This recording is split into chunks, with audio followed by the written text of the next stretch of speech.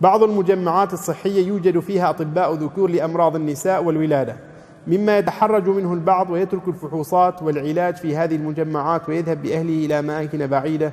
ما نصيحتكم في هذا الجانب؟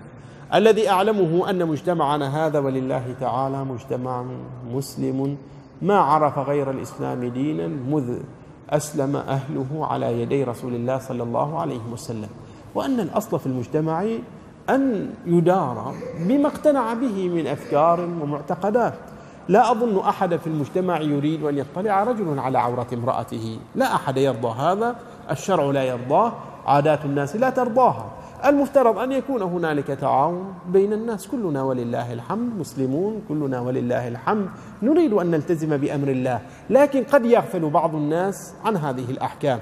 ومن هنا فالأصل في التطبيب كما يقول الفقهاء أن تطبب المرأة النساء وأن يطبب الرجل الرجال. هذا هو الأصل العام. فلا يصح. إن كان هذا التطبيب يستلزم إظهارا للعورات أو لمسا لا يستطيع أن لا يصح أن يطبب الإنسان رجل آخر أو جنس آخر من غير جنسه. هذا هو الأمر العام. لكننا في الجانب المقابل نقول إن كان هذا التطبيب لا يوجد غير هذا الطبيب. أو إن كان الطبيب المحترف الذي يمكن أن يعالج الإنسان هو الطبيب من غير ذلك الجنس. في هذا الحال نعم هنالك رخصة ولا حرج. أما مع أحوال السعة والاختيار فلا يطبب الإنسان أحد من غير جنسه والله أعلم.